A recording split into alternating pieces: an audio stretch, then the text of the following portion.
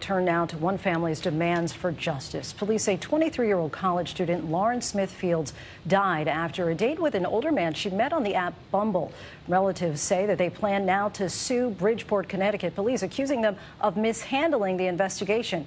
Here's ABC's Zachary Kiesch. Tonight, Lauren Smith Fields's family is demanding justice, calling for an independent investigation after they say local police have dragged their heels and violated their family's civil rights. The accusations coming in a legal notice the family has filed is part of a planned lawsuit against Bridgeport and the police department. It's not just about Lauren. It's about every girl that could potentially go through something like this. We don't ever want this to happen to anybody. Police have said the investigation is ongoing.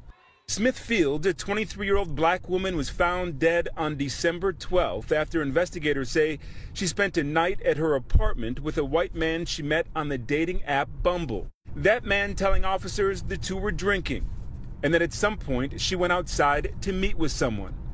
She later became sick and he carried her to bed, according to the incident report.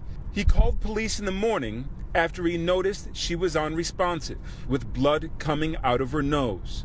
I just could not believe that my little, my baby sister was gone.